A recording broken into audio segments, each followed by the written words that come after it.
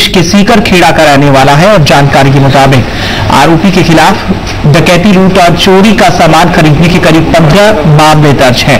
कुरुक्षेत्र यमुनानगर अंबाला, करनाल और दिल्ली, यूपी समेत तमाम जगह ये मामले दर्ज है। इसके कई साथी पहले ही पुलिस की पकड़ में आ गए थे और उनकी निशानदेही पर इसको पुलिस ने गिरफ्त में लिया है।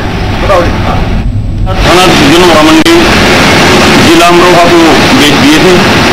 दो आरोपी को चार तारीख को प्रोडक्शन वारंट पर लिया गया था, जिसकी चार तारीख, चार छः को गिरफ़्तार करके इससे दो ट्रैक्टर सोनालिका, अमरोहा और संबल से बरामद किए गए हैं, जिसको आज पेश अदालत किया जाएगा और तफ्तीश जारी है।